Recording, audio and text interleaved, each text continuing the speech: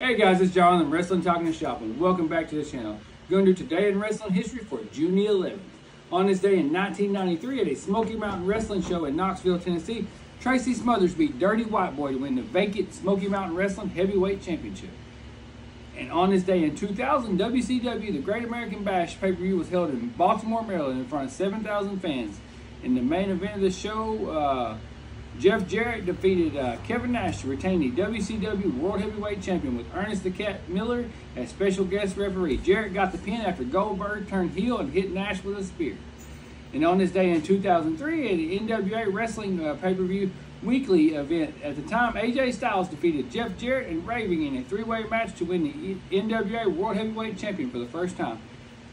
And on this day in 2006, WWE presented the ECW One Night Stand at the Hammerstein Ballroom in New York with 2,400 fans.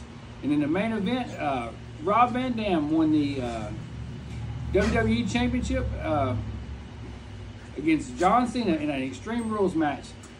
And Edge interfered towards the end of the match, hitting Cena with a spear and then knocking out the referee. Van Dam then hit Cena with a five-star splash, and Paul Heyman ran out to count at the pin on this day in 2007 on an episode of uh, Monday Night Raw aired called Mr. McMahon Appreciation Night. The uh, night was conceived as a way of cheering up McMahon after losing the ECW champion to Bobby Lashley. At the end of the show, uh, McMahon was seen walking to his limo, getting inside, then the limo exploded.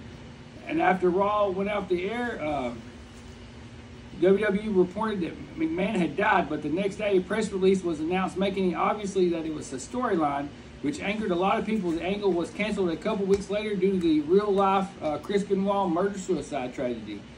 And that's going to wrap up today in wrestling history, guys. Thanks for watching. Like and subscribe.